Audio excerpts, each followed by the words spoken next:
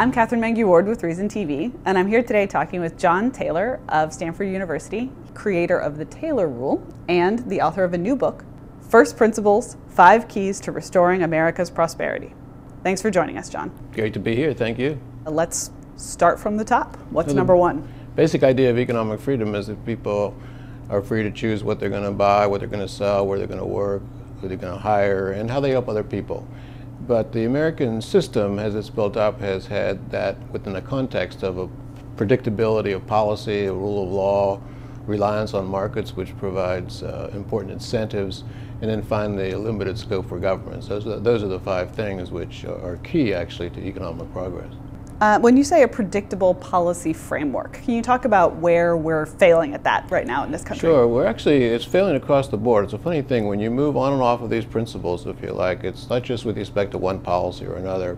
But now take uh, fiscal policy. We basically have a debt that's exploding. It's completely unpredictable. We're talking about, you know, the whole tax code is up for grabs. Very, very unpredictable. Monetary policy, we don't know whether there's going to be another quantitative easing. You don't know what the Fed's going to do.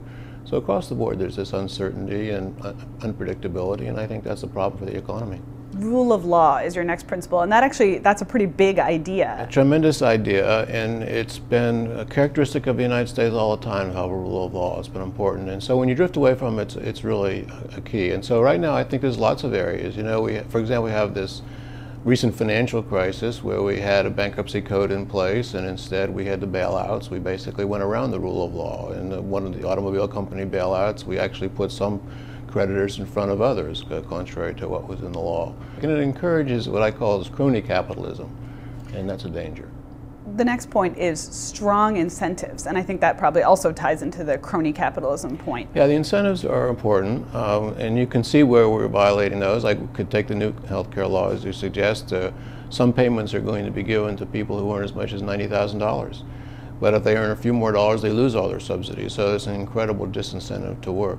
Your next point is reliance on markets. Defenders of a lot of the current new regulations, again, the healthcare law comes to mind, say, listen, these are market based. What's your response to this idea that somehow Obamacare or, or other um, things that might look like regulations on the surface are employing market mechanisms underneath? Well, it doesn't. You know, for example, the policies to deal with Medicare has a government bureaucracy that's going to say how much should be spent on this item or that item. In contrast, say something like it's been proposed by Paul Ryan, he's going to give a certain amount of money to people and then they could decide what's the best, best uh, health insurance for them. So there's one's relying on the market and one's relying on centralized government control.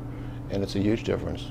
And your fifth point, uh, which uh, should warm the cockles of uh, Reason TV libertarians' hearts, is a clearly limited role for government. Is there a bright line about how big is too big there's in never terms a bright of government line. spending? There's never, there's never a bright line. But you know, I teach my students, uh, you know, undergraduates, whatever, that there's cost-benefit analysis. There's sometimes a role for government, national defense, security, enforcing the rule of law. But there's also, you want to know when the private sector can do things, and better, and most always they can. But so often we're having the government going and doing things. I guess an example now would be this requirement that you buy health care or that firms are required to provide it, uh, in which case you are increasing the scope of government tremendously. Again, this is really goes back to the founding of the country where there was this great suspicion of too much power. It came, of course, from this monarchy that was uh, really so oppressive, and America has always been resistant to that, and hopefully will continue to be. But we're now having too much, I'd say we're beyond the line at this point pretty clearly. This all sounds great, common sense, founders, excellent. How in the world do we get from here to what you're describing?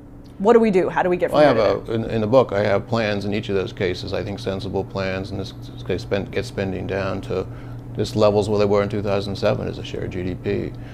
But I think what I also do is to look at the history. You know, I call it how did we get in and out of these messes, or who got us in and out of these messes.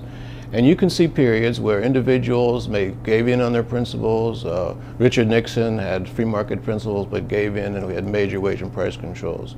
And yet had Ronald Reagan free market principles, and he made a huge difference. He had people around him who were dedicated to those principles, and he stuck to them. And so you can see periods. Fortunately, we have the history. We have, if you like, a a, a way to look at uh, what happened, and, and I see a great potential to getting back to where we were. Actually, I'd say it was a good period was the 80s and 90s, and it's just more recently where we got off track. And so we can get back there, and uh, we have to because America can be great again, economically speaking, if we do that. Thank you very much, John. I appreciate you talking with us about your new book. Thank you. I'm Katherine Mangu Ward for Reason TV.